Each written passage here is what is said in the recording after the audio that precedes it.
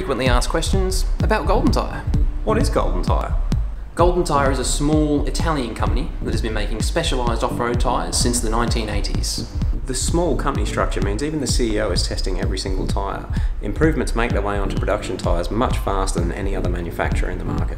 Over the last five years, they have dominated the European extreme enduro scene. As the brand continues to grow, it's become evident that there's only one choice for tyre to be competitive in the enduro world. What tyres does Graham Jarvis use?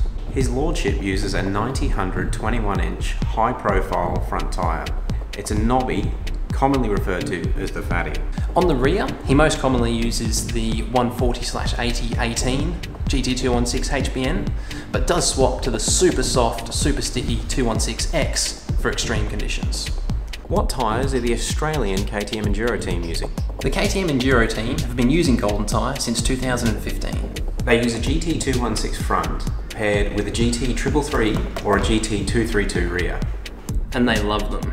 Daniel Sanders loves them.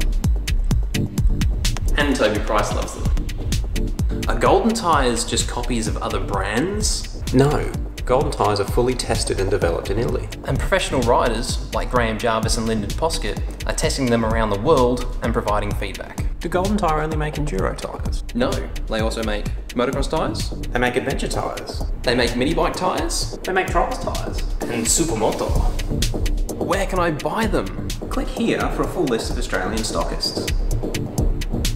Go on. Click it. You haven't. You gotta click it.